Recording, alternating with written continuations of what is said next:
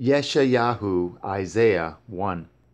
The vision of Yeshayahu, the son of Amoz, when he saw concerning Yahudah and Yerushalayim in the days of Uzziyahu, Jotham, Ahaz, and Yahizkiyahu, kings of Yahudah.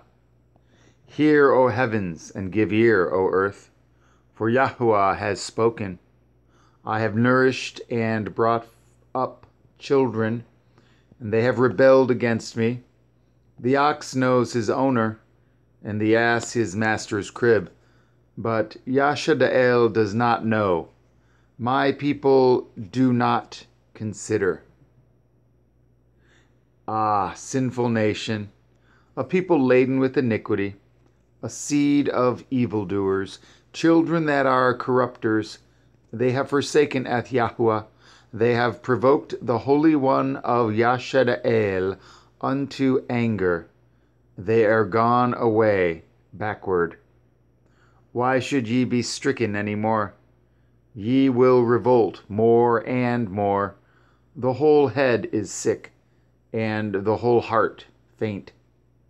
From the sole of the foot even unto the head, there is no soundness in it, but wounds and bruises and putrefying sores.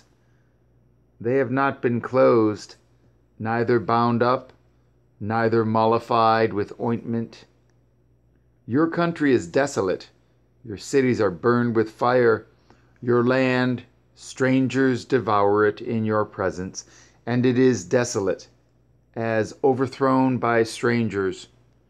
And the daughter of Sion is left as a cottage in a vineyard, as a lodge in a garden of cucumbers, as a besieged city.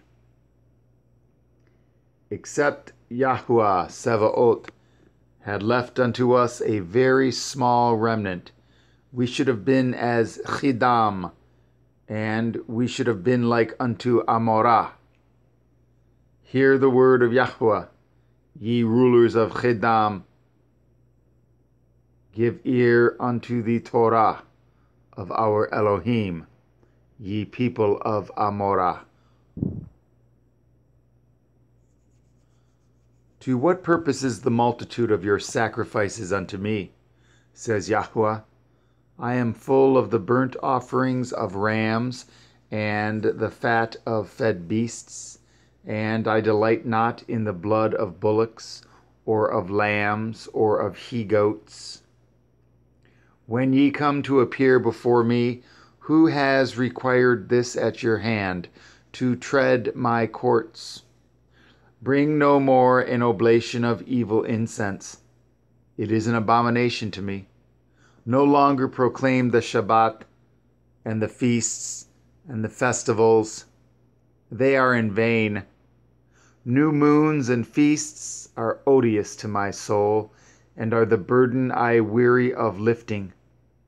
And when ye spread forth your hands, I will hide my eyes from you. Yea, when ye make many prayers, I will not hear. Your hands are full of blood. Wash yourself, make yourself clean. Put away the evil of your doings from before my eyes. Cease to do evil. Learn to do well. Seek judgment. Relieve the oppressed. Judge the fatherless. Plead for the widow. Come now, and let us reason together, says Yahuwah. Though your sins be as scarlet, they shall be as white as snow. Though they be red like crimson, they shall be as wool. If ye be willing and obedient, ye shall eat the good of the land. But if ye refuse and rebel, ye shall be devoured with the sword for the mouth of Yahuwah has spoken it. How is the faithful city become a harlot? It was full of judgment, righteousness lodged in it, but now murderers. Your silver is become dross, your wine mixed with water. Your princes are rebellious and companions of thieves. Everyone loves gifts and follows after rewards. They judge not the fatherless, neither does the cause of the widow come unto them. Therefore says Adonai Yahweh Savaot, the mighty one of Yashar'el, Ah, I will ease me of my adversaries and avenge me of my enemies. And I will turn my hand upon you and purely purge away your dross and take away all your tin. And I will restore your judges as at the first and your counselors as at the beginning. Afterward you shall be called the city of righteousness, the faithful city. Sion shall be redeemed with judgment, and her converts with righteousness. And the destruction of the transgressors and of the sinners shall be together, and they that forsake Yahweh shall be consumed. For they shall be ashamed of the oaks which ye have desired, and ye shall be confounded for the gardens that ye have chosen. For ye shall be as an oak whose leaf fades, and as a garden that has no water.